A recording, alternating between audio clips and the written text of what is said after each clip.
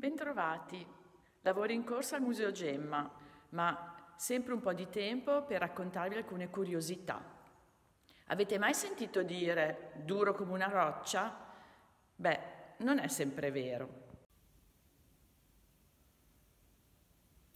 Itacolumite o gresso elastico. E questa è la roccia che sfida un po' il detto duro come una roccia.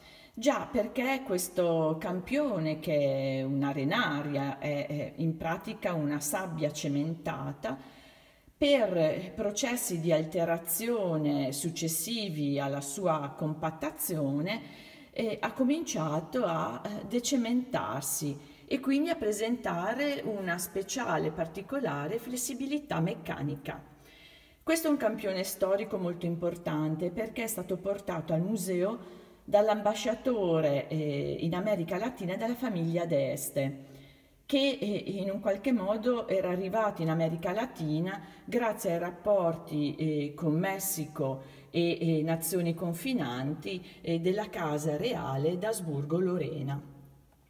Non riesco a sollevare il campione perché è davvero pesante, la frattura che vedete ora inquadrata è legata ai tanti tentativi che in passato gli studenti hanno fatto per verificarne la flessibilità.